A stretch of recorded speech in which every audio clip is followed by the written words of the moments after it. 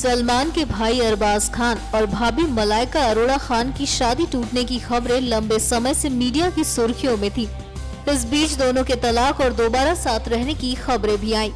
लेकिन फाइनली अब अरबाज और मलाइका ने डिवोर्स फ़ाइल कर दिया है। जी हाँ न्यूज़ सोर्स के मुताबिक अरबाज मलाइका को पिछले हफ़्ते बैंड्रा फैमिली कोर्ट में तलाक के लिए अपने अपने वकीलों से मिलते देखा गया है।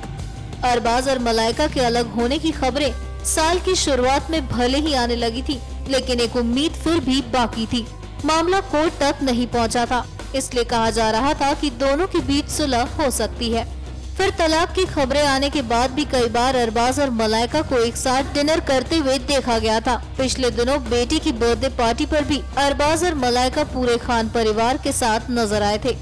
मलाइका ने अरबाज का घर छोड़ दिया है और वो बेटे अरहान के साथ अलग रह रही हैं। इसके बाद ये भी सुनने को मिला कि मलाइका और अरबाज अभी इसलिए तलाक की अर्जी दायर नहीं कर रहे हैं, क्योंकि दोनों के परिवार रिश्ते को बेहतर करने की कोशिशों में जुटे हुए हैं।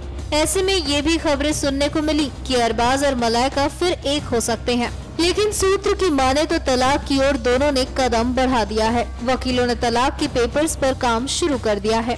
सूत्रों की माने तो मलाइका और अरबाज आपसी सहमति से तलाक लेने जा रहे हैं।